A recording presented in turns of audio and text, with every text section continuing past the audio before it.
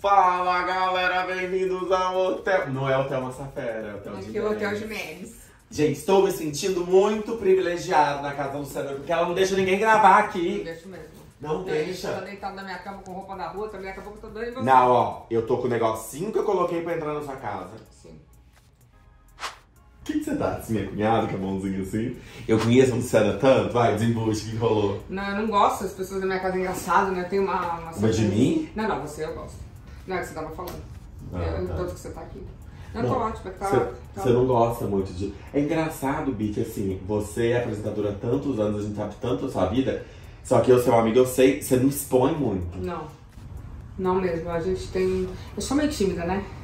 Você acha que você é tímida? Eu sou, eu sou meio tímida, assim, pra minha vida pessoal. Mas ultimamente, Maia, eu tenho falado bastante, mas eu tenho ido em vários lugares. Falado tem, mas vou dar um exemplo que você vai entender, quem tá assistindo também vai entender. A gente sabe de várias coisas suas, mas ao mesmo tempo não é você que mostra, não é você que faz.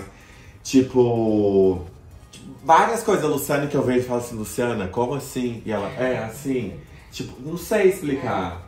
É, eu, eu sempre fui muito quieta em relação à, à vida pessoal, mas ultimamente eu tenho ido em podcast falando até das minhas dificuldades, porque antigamente eu engolia muito quieta. E eu acho que depois desse ano de pandemia, eu, eu, eu acho que as pessoas querem saber mais, tem Uhum. isso. Então eu senti que se eu não abrisse mais a minha vida, eu estava cada vez mais distante das pessoas. Então eu realmente comecei a abrir muito mais, até das coisas que eu sinto, Uhum. das coisas que eu acho, mas eu sou um pouco. é, Mais é, reservada. sou um pouco mais reservada. Bi, você tem geladeira aqui por quê? Você come aqui? Então, essa geladeira tem como? Não tem. Eu tô falando isso, eu também tenho geladeira, geladeira no andar de baixo lá de casa. É larica, larica. Só que a Luciana. Que larica, Bi? O que, que Larica- você anda fazendo? Não, que tem larica? Larica que eu digo é vontade de comer de noite. Chama isso, baixinho? Bi, não, larica é outra coisa. Não, então como é que eu coloco ela fora? Eu petisco à noite. Deixa eu te falar uma coisa. É. Inclusive tem uma trava ali pro meu filho não mexer. Ah, pro Lorenzo. É. Então, eu perguntei isso porque você tem mania até hoje de comer um quarto, não. Você Como gosta, né? escondido, né? Não comer escondido, tá- deixa agora da cozinha, fui lá comer. A funcionária da a cozinheira da Luciana sempre fala, sempre tá com fome, né, Matheus? Que venho aqui, vou da cozinha. A comida aqui é ótima. É boa mesmo. Ô, ô Lu, aí tava lá tua bandeja. Eu falei assim, a Lu com- continua comendo no quarto? Ela falou assim.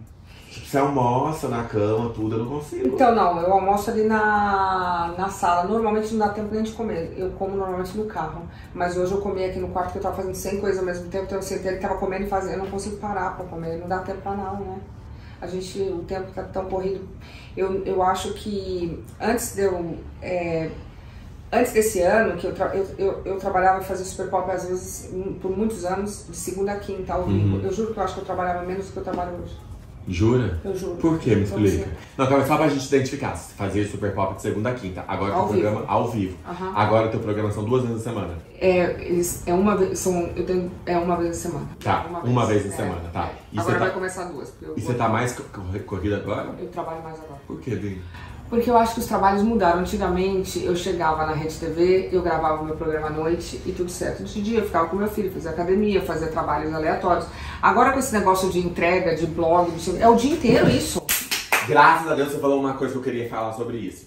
Luciana é um ano cansado. Exausto. E aí, para, ontem eu tava conversando com a Dani, que trabalha lá no meu negócio, ela falou assim, Matheus, você chega correndo, você grava e vai falar assim, mas você acha que eu vou pra casa dormir? Tipo assim, eu tô com o telefone, tô resolvendo isso, aí eu vou lá mais, resolvi pepino de trabalho, não sei o que, aí tem que postar. Aí meia-noite na minha cama, quando eu acho que eu vou dormir, eu lembro que eu não postei a porra TikTok. Não, Aí eu tenho que agora, agora tem stories no TikTok, meu Deus. Pra piorar o negócio. Mas é... Não dá pra fazer um stories e já postar em tudo quanto é lugar mesmo? Ai, eu ver como é que a gente vai ganhar muito dinheiro. Como? Abrindo um aplicativo que a gente posta nesse aplicativo e esse aplicativo lá Agora não fala, velho. Ia ganhar muito dinheiro. Mas não fala, né? Ia ganhar. Dá pra cortar? Dá pra cortar, me deixa alguém vai ter fazer. ideia. Alguém vai ter essa ideia. Bi, seria fantástico. Gente, porque é. Mas eles não vão deixar, porque justamente a plataforma é pra você não usar os outros, né? Não, mas essa plataforma vai ser meio. Meio, meio, meio. Não, porque aí, aí você tem que fazer. Aí, aí o que, que eu tô entendendo? Que os clientes, na realidade, eles estão terceirizando o trabalho, porque eles não vêm mais com a equipe deles. Não, é a mas- sua equipe que tem Então, mas olha que legal. Quando eu trabalhei com o Bolinho toda vez que ele conversa comigo, ele fala a mesma coisa. Matheus, até hoje a gente é impressionado. Eu vim gravar aqui com a Luciana, trouxe câmera, trouxe um monte de coisa. E a Erwin tá gravando do meu celular 13, porque eu falei, Bi, como a gente vai andar no seu quarto, gravar pelo celular é melhor que o outro. Aí ela assim, Sério, você vai gravar então sem a câmera, sem as luzes. O Boninho falava a mesma coisa. O Boninho falava sempre lá na Globo. A gente gravava um negócio na, no Big Show. Fiquei lá um ano, né? Bia, eu ia lá com o celular, gravava em 15 minutos, gravava tudo, tava pronto. Você sabe disso, televisão demora o dia inteiro. Ah, eu é uma fazer- equipe Eu gigantesca. prefiro fazer na televisão. Eu acho Pois é, mas eu não prefiro, Bia. Ah, eu prefiro. Você acha? Mas não é mais fácil que você chega que lá, eu você não eu tem faço, né? Exatamente. Na televisão eu vou lá, Agora, faço imagina agora. Eu o tenho que custo que é uma televisão, Bi, tudo. Bom, mas só que faltava agora na televisão gravar com o celular. Mas eu acho que daqui a pouco eu vou gostar. Será? Ué, tem programa seu fase. Olha a gatinha da Lu, qual que é essa, Lu? Essa é a Safira. E você tem quantas? É, essa foi adotada. É, eu tenho duas gatas. Eu tenho essa e a branquinha, a Madison. Tá. E essa lista é maravilhosa. Ela é muito gostosa, essa gatinha. Ela morre, não? Não, ela é uma tá graça, famosinha, né? claro. Ela tá dormindo. Obviamente ela dorme de dia acorda à noite, né? Hum. Amo, nenenzinho. Isso ela acorda. Ô, neném. Pode acordar. Eu, fico- eu tenho inveja dela. O quê? Porque ela só come e dorme. Ai. Ela só come e dorme. Você só come e dorme. Olha é como ela é você? Olha como ela é linda.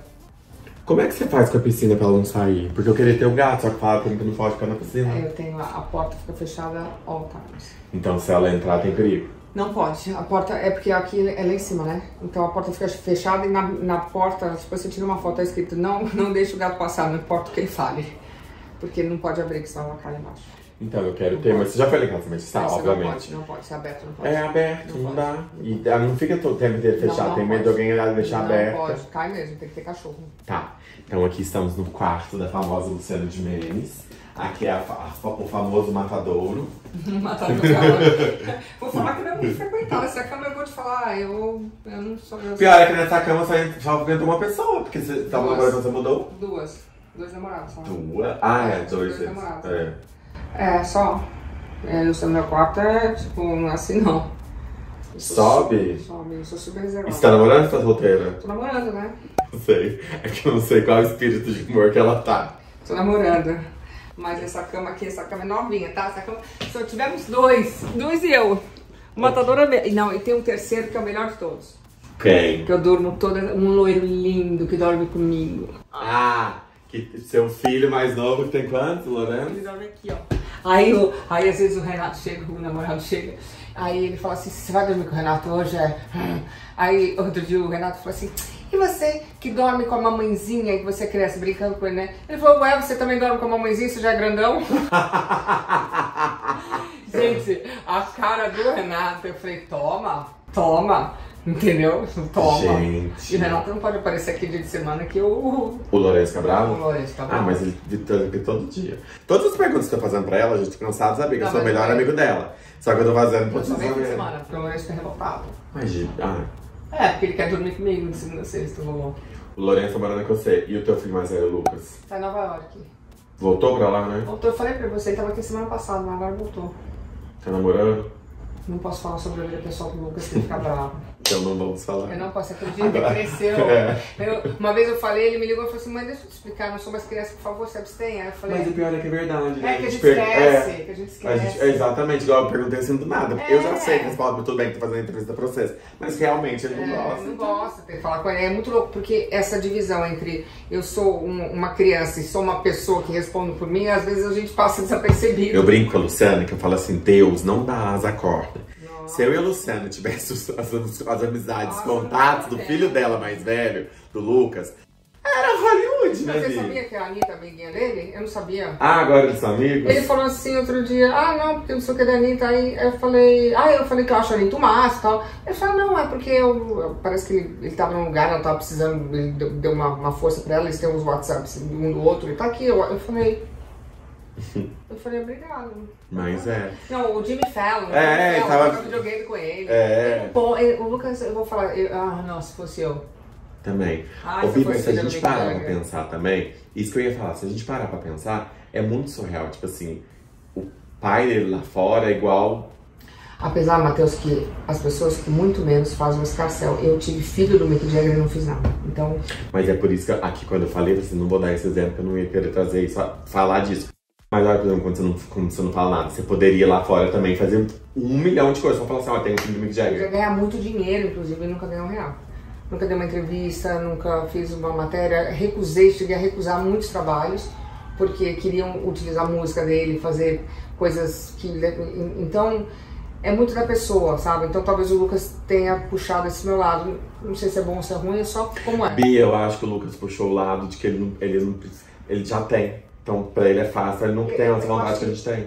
Não eu, não, eu acho que não. Eu acho que ele tem um certo receio, porque é, é, é muito difícil você ter uma, uma pessoa muito famosa sendo seus pais, sabe? Às vezes você conquistar, eu falo por mim, não tô nem falando pelo Lucas, você conquistar esse, esse espaço do tipo quando eu era filha da Vera de Mendes, eu sou ainda, claro, eu amo minha mãe, mas ela era muito famosa quando eu era nova.